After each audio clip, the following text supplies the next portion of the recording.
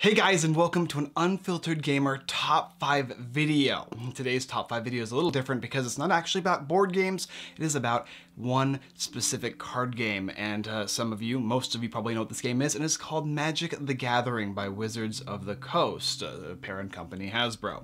And in the game Magic the Gathering there are tons of different formats. Uh, this one specifically that I play is called EDH, Elder Dragon Highlander, um, or commander as it's normally referred to when you go to buy a set of these cards in the store. Uh, EDH is basically 100 unique cards, 99 in a deck, and then one singular commander. And that commander's colors are the different types of colors associated with the cards in your deck. Uh, and the objective is to defeat your opponents, to reduce their health to a measly zero. Um, uh, you start with 40 life in Commander as opposed to the regular 20, and the game is typically played with multiplayer in mind. It's a casual format. I'm not going to go into more EDH stuff as far as how the game is played or anything like that, because most of you probably know what it is already, and I'm just going to talk about my top 10 favorite commanders, uh, the decks that I have kept over a period of time, and then I have one bonus one at the end. This might allow you to decide what type of commander to build, and of course why based on the commanders that I've chosen and uh, the cards in the deck. A very brief synopsis of each of the decks, so we'll keep this kind of light. Uh, the first commander that I have is called Captain Sisay. This card allows you to search your library for a legend card and then put it into your hand after you tap it. It basically will allow you, if you're playing with the deck that I am using, to search through your, your deck for almost anything you want. In the deck, you're going to find legendary lands, creatures, enchantments, and artifacts, and it is basically an answer for every, uh, or solution for every answer. So when somebody plays something on you, you can tap Sisay, utilize her, and then find something you need in the deck in order to solidify or satisfy the requirement. Whether it just be maybe a basic land uh, or basic type, you know, just a land that you might need. So Unitake is available available for you. Or maybe you want a Nykthos, Shrine of Nyx. You can pull these lands out and utilize them. Or a legendary artifact like Helm of the Host, allowing you to copy your creatures and ignore the fact that they are legendary, even creating more Sisays, allowing you to search more. The entire deck is basically a tutor deck, and whenever you need something, you can just go ahead and search for it. The one weakness in Sisay is that if you defeat or destroy Sisay, the deck dramatically takes a turn, and you start basically turning it into kind of a green ramp deck. The, the deck deck is basically a white and a green deck, obviously based on commander color type. And so because of that, it's mainly made out of ramp, powerful creatures, unique and interesting artifacts, enchantments, and a, a strong um, plethora of legendary lands this deck has withstood, the test of time in my collection and has been something I have kept uh, ever since I started making it, just to keep making it better and better because more legendaries are always coming out and making the deck that's that much nicer each and every time I go into it and find new cards for it. Uh, the top 10 list is not in any specific order, but maybe I'll give a couple uh, high mentions to my favorite ones of the bunch. Sisay would definitely be in my top five. Uh, the next deck I have here is actually my most recent deck, and it's called Phenax God of Deception. This is a mill deck. For any of you who don't know, know what mill is, mill allows you to remove cards from your opponent's decks and put them into the graveyard, and then as, as you continue to play cards that do so, when their deck is emptied and they go to draw a card from their deck, typically speaking, they'll lose the game. And that's exactly what this commander lets you do. It is a black and a blue card, allowing you to utilize the mill from blue and the basically the draw, mill, and damage from black. A lot of the creatures in the deck that are black typically will attack your opponent and do damage to them based on the number of creatures in graveyards or number of cards in graveyards or opponent's graveyard or unblockable and will they'll lose life based on that. And then the blue cards, typically speaking, are going to mill your opponent for a tremendous amount of HP. And also I have a lot of copy spells. That way I can copy the creatures that I have used or I'm using to basically mill even more. I have special Ashiok commanders that will allow you to mill your opponents or discard your or remove your opponent's top cards of their deck from the game and then bring them back into play. And then of course things like increasing confusion, which you pay X and blue, removing cards from your opponent's library uh, into the graveyard, and then you have flashback allowing you to do it once again. Unique combo in the deck is hinder, hinder, and tunnel vision. Basically you can counter our opponent's spell with a little bit of control and then put it on the bottom of their deck, and then you can tunnel vision them, basically removing cards up until they, you, you reach a card that you choose uh, from the top of the deck to the bottom of the deck, and at that point your opponent will mill themselves out instantaneously, and that can happen as soon as turn four or five with the appropriate powerful deck. Uh, the next card, or next commander I should say, is this one here. This one's called Sliver Overlord. Uh, this card is basically the uh, tribal like hierarch in my opinion. It's one of the uh, everlasting tribals that players will always use because slivers are so interesting and so unique and they're always coming out with new ones in maybe subsequent like every like four or five sets you're gonna see a new like set of slivers to some extent. Uh, I have all the five color slivers in the deck. but The reason I chose the captain is because he can search, he can tutor for any slivers that he may need uh, from your deck and then he can also gain control of slivers. So I can start turning my opponent's uh, creatures into slivers and then taking control of them with my captain.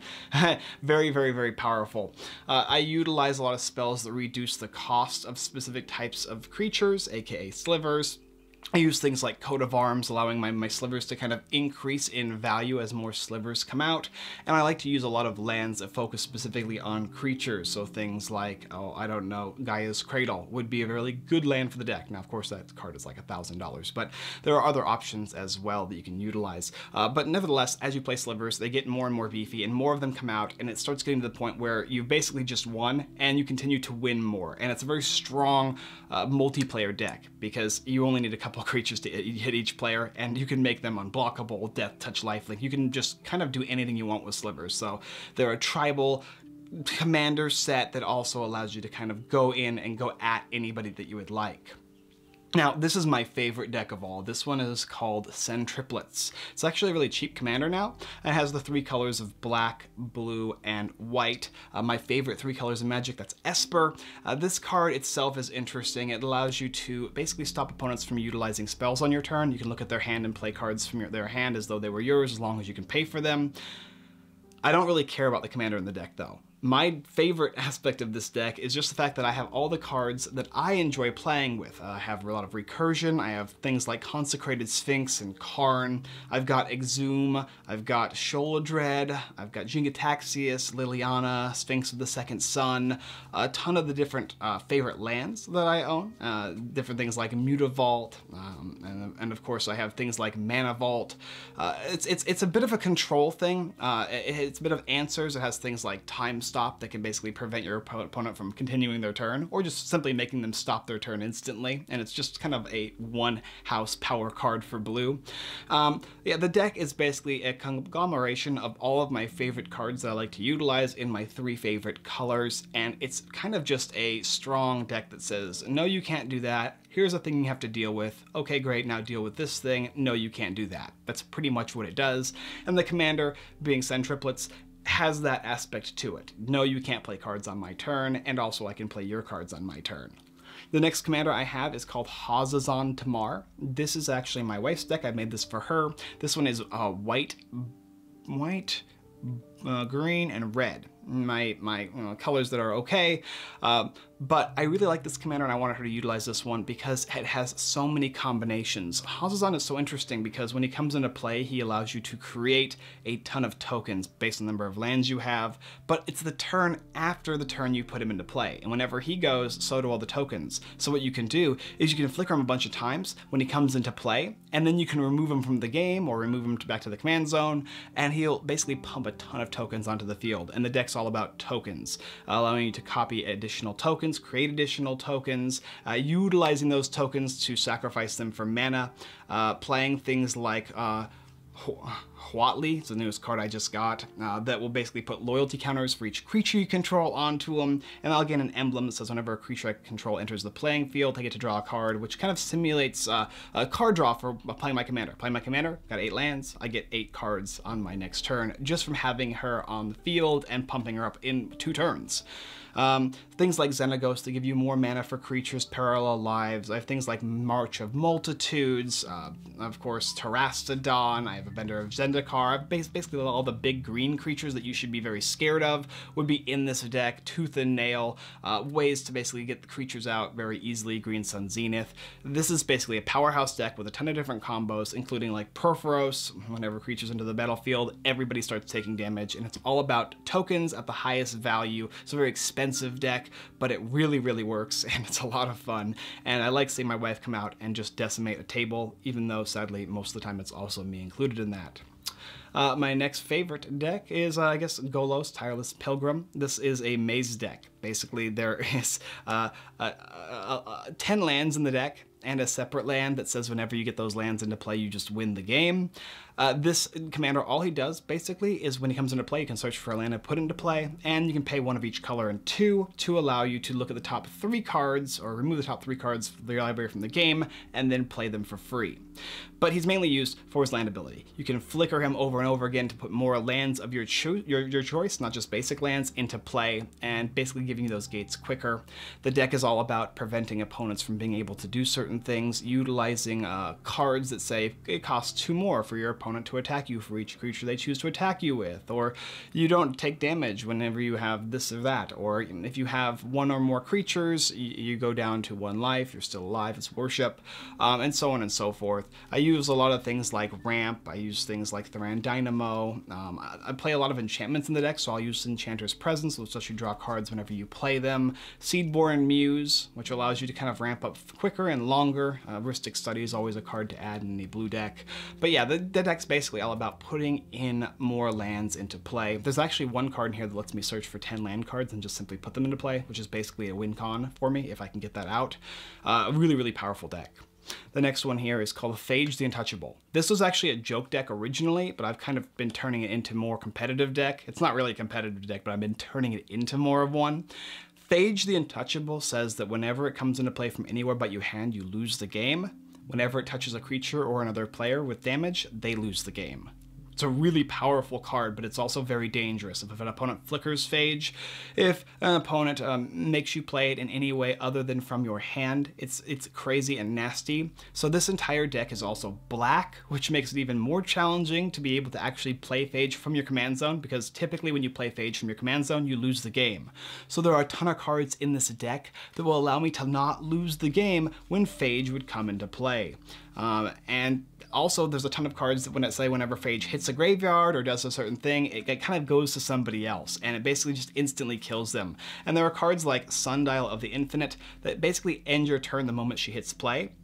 So instead of her triggering the ability to make you lose the game after she enters play, you can end your turn and thusly keep Phage. And there's a ton of cards that basically do that in this deck a little bit of a recursion, ability to kind of pay life. It's all about hurting yourself dramatically to get her into play as quickly as possible, to tutor what you need to get her into play, and also, of course, to make sure that she's unblockable. So there's lands in there like Rogue's Passage that will kind of uh, alleviate her um, her uh, less abled ability to kind of hit players. Uh, they have she has to actually swing in with unblockable, utilizing a variety of different things like Whispersilk Cloak as well. Uh, a really fun and interesting commander, not one I would ever suggest a beginner to build because it's a very challenging deck to construct and to utilize. Zedruu the Great-Hearted. This is one of my favorite decks as well, obviously. And this guy basically will allow you to donate tokens or donate anything that you own to another player. You'll be playing things in this deck to give to an opponent and thusly allow you to draw cards and gain life for each of those permanents that you do every upkeep. And there's a ton of cards that you can give in this deck that are, mm, you know, sometimes nice and most of the time not so nice. And there's also a ton of cards in the deck that will let you donate uh, cards with the cards that you're utilizing. You'll give people things like Taniwha, basically it phases and has trample, beginning of your upkeep, all your lands phase out. So it it's not the greatest thing to give to somebody. It stops them from being able to do something. Um, you can do things like Chromeshell Crab, which can trade the crab for one of their items. Um, and of course, don't forget always Rhystic Study. Uh, I'm trying to find something that I, I have Approach of the Second Sun as a second win con because this deck is mainly about group hug or group hate, and so I needed some way to win the game. And Approach does that, allowing me to play the card, put it in the top seven, uh, or the seventh card from the top, and then once I draw it again, I can play it and instantly win the game.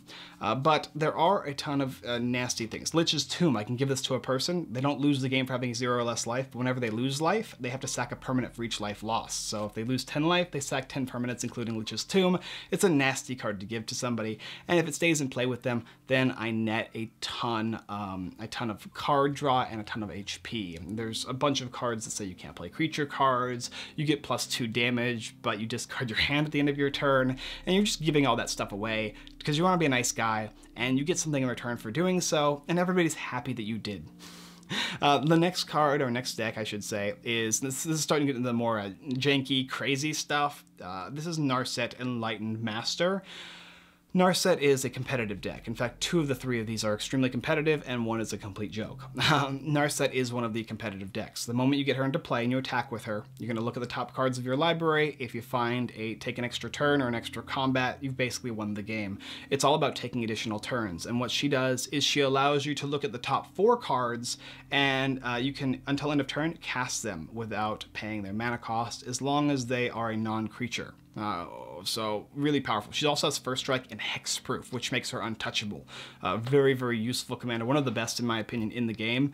And once she hits, once she attacks, you're you're you're in trouble because uh, the player that has a million different uh, take an extra turn, take two extra turns on top of their deck is basically just going to overburden you with being able to do nothing. It's a hilarious deck for me to play, but no one else likes to play against me with it, so I almost never play it unless it's in tournament because basically I just end up taking additional turns for forever after about the fourth or fifth turn, and I win the game with my commander or a few other variants like omnipotence and omnipresence that lets you draw your entire deck and play your entire deck for free a crazy deck. It's not fair. It's it's kind of mean. Uh, the next deck is the joke deck. This is like a super silly deck, and basically what it is is called Slimefoot the Stowaway. My uh, friends wanted me to make a deck that didn't have all the crazy rares in it, so I challenged myself to try and make an uncommon or less deck. And uh, he's a legendary fungus. He's a 2-3 that lets me put more funguses into play, and whenever a fungus dies, or a saproling, um, sorry, whenever a creature I control dies, right, a saproling I control dies, I get a life and somebody else loses a life. So it's all about saprolings. I'm using a lot of the old, like, fungusy type of things from, like, the older sets. And then I try to use a couple of the cards that are uncommon that let me kind of put additional tokens into play and um, proliferate and all that kind of stuff. So the deck's all about putting out slimes and attacking your opponents. It's a silly deck. Um, I, I just really enjoy it. I just think it's a lot of fun to play, and winning with it is kind of even more uh, interesting. You know, it's, it's, kind of like a more prideful thing when I actually accomplish a win with that deck because everybody else is playing with crazy cards, and I'm just throwing out, here's four one-one slimes, your turn. now my last deck. The last deck here is called Sidisi Undead Vizier. Um, and this deck here is the most broken deck that I own. It's unfair if you're into Magic the Gathering. Uh, if you've watched this far, you probably are. And you want something to instantly win that's basically the cheapest deck you could actually make. Sidisi is where it's at. You can um, spend maybe less than 200 bucks, uh, even, even less than that if you really wanted to, to make a deck that's all about winning on the third turn 90% of the time. Yes, I said that. 90 to 95% of the time you win on the third, maybe fourth turn. So DC basically says when she comes into play, uh, you can put her back into the command zone, so to speak, uh, uh to uh, search for card for a life. Whenever this enters the battlefield, I can sack this creature, and I can basically search my deck for a card to put into my hand. And so I'll search my deck, and there's only one card in this entire deck that you need to search for. And basically on the next turn after that, you, you, you, win the game. Ad Nauseam. Ad Nauseam lets me reveal the top card of my library, pay the life for the converted mana cost, and put it into my hand until I don't want to do so anymore. Uh, now the trick is, I have 40 life in Commander as opposed to the 20 all of my stuff in this deck, uh, besides a few cards, is zero or X. And I'm basically going to take them all into my hand instantaneously. I'm going to play them all out, and then I'm going to do something um, like sacrifice, sacrifice creatures or remove cards from my hand to instantly deal damage. There's a ton of different ways to do so. Um, Skirge Familiar lets you discard cards from your hand and you get one black mana for each one that you do. And then you can simply play a card like, um, I don't know, uh, there's con Consume Spirit. Uh, it's, it's one black and one colorless and X. And for X that I pay, I can do damage uh, to target creature or player and I gain that much life. Um, if my combo fails, I can simply refresh my entire discard pile back into my library and rinse and repeat if need be. And yeah, the deck is basically just about grabbing the entire deck on about the fourth turn, mm, you know, to be kind of more more likely, and then playing it all out instantly. It's all zero cost stuff. And it doesn't matter what the zero cost stuff is. You could play anything from, wow, these are all lands. uh, Dark Sphere, I have no idea what it does. Phyrexian Walker is a zero three artifact creature for zero and it does nothing. Um, I put some things that cost one, like Soul Ring into here and also Glasses of Urza. Um, and then there's Everflowing Chalice, um, And yeah, it just goes on and on. Paradise, Mantle, Feldon's Cane.